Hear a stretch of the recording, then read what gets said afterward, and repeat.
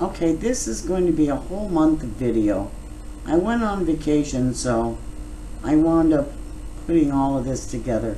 It's going to be from uh, all the whole month of July. They were born March 20th, so this is going to be all the way up until they're 20 weeks old, because today is August 5th, and I'm not going to be doing any more video. Anyway, this is a lot of video of them flying in and out of the pond, uh, fishing.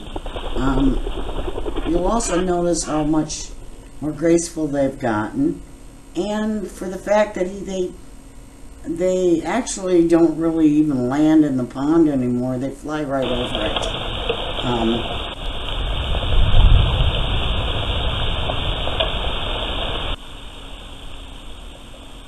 That there was a storm we had. It bring up the, I don't know, like we got three or four inches to bring up the pond all the way halfway up to that ferry. So the pond's very deep in these, in some of this. Um, the ducks don't seem to mind it.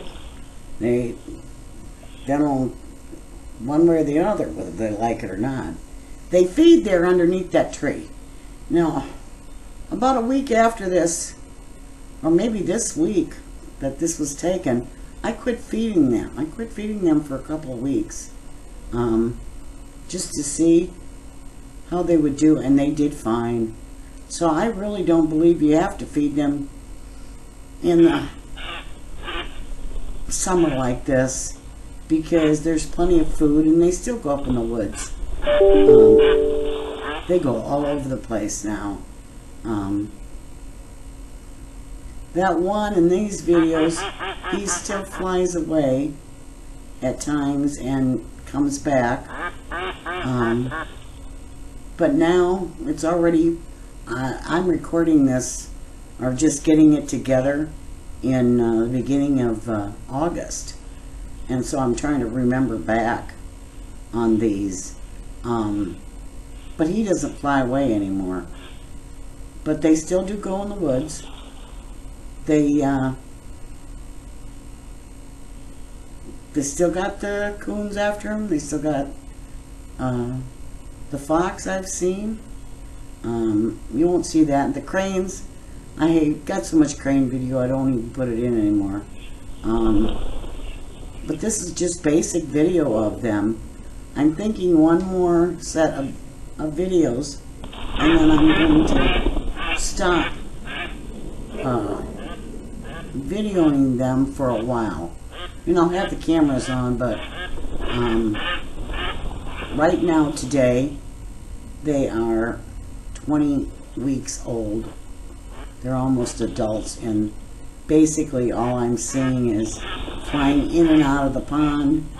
I got some good close-ups of them, but until they get bigger, or until, you know, a few months from now, I'll video them again and again.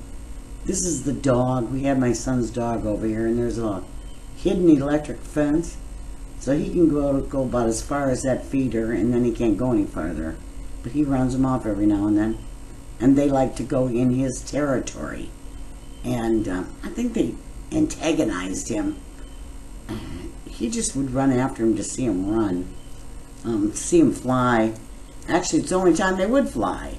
They've gotten lazy. That's part of the reason why kind of quit feeding them because they got so fat they they got fat enough to where I think it was hindering their flight. They weren't flying. Um, but seeing this one, he's flying real hard. They fly right over the pond. They don't even land in it anymore. That's how independent they've gotten. Um, well, I'll just watch it along with you and cut in where I think needs to be told.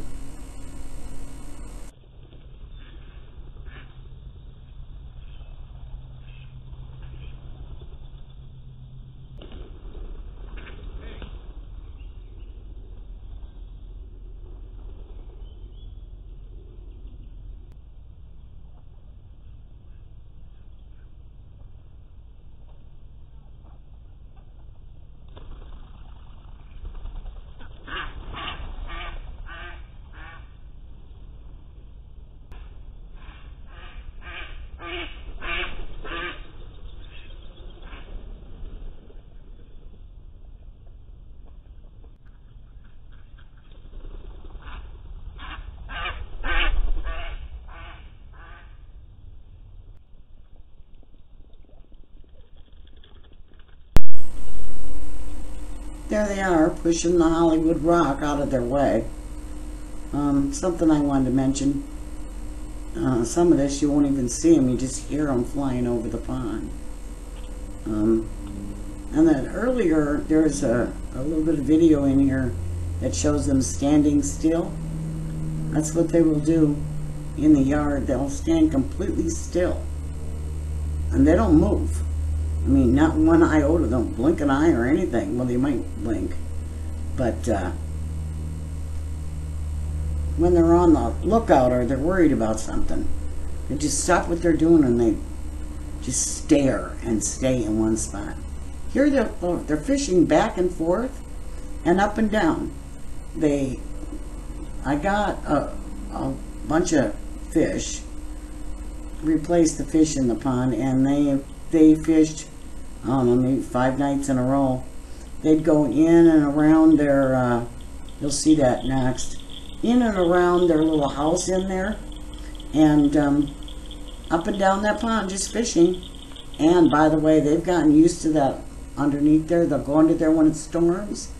And now if there's a predator, they'll uh, go right under there.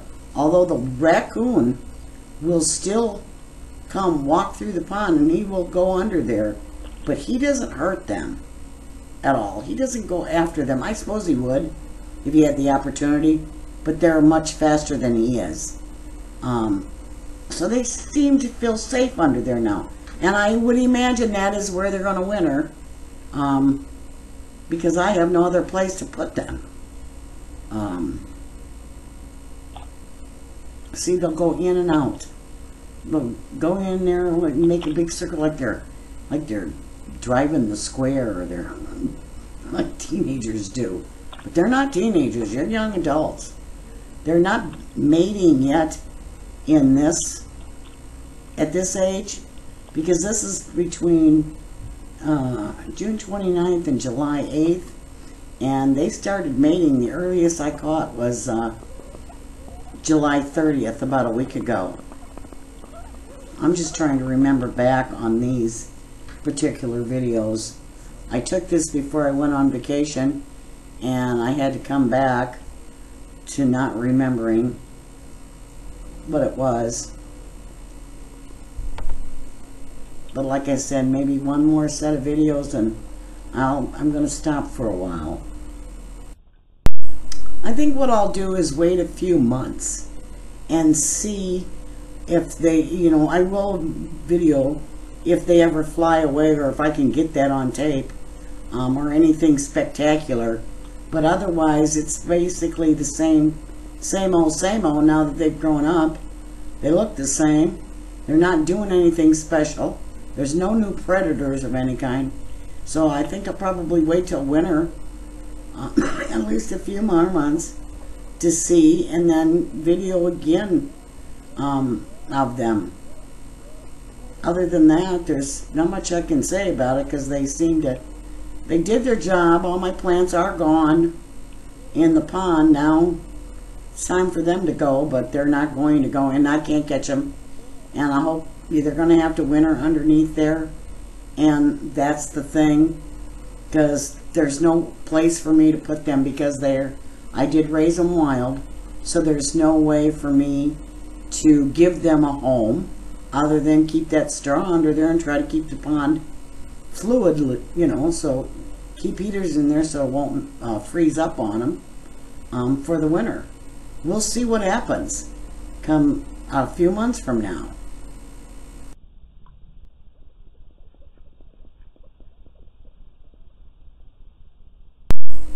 And like I said, this is probably my next to last video. Um, because I got one of them sitting on the back of my deck. Well, I, I don't know what else I have. I, I have to take, take a look. But look, there might be one more after this.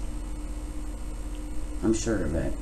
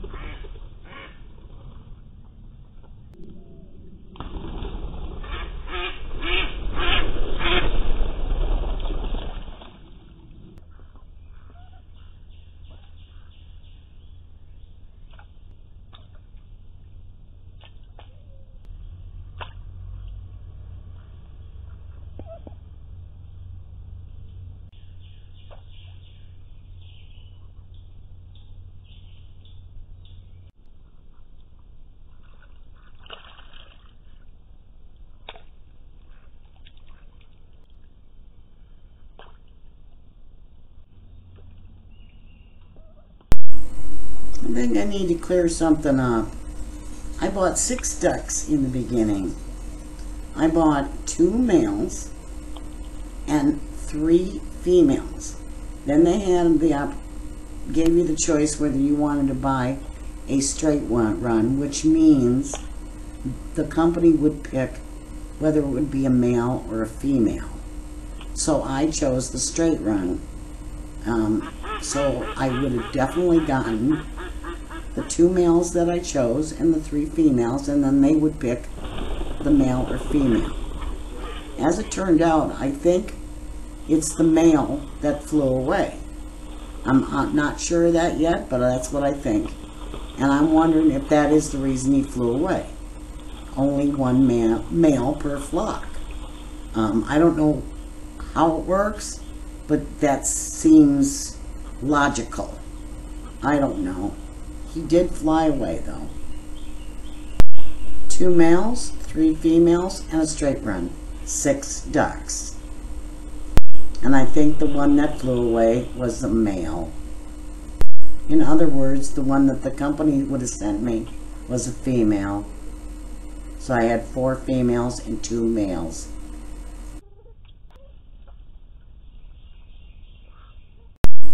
Okay, I just checked. This is going to be my last video. Other than the one that I uh, called Duck Stuff, number five.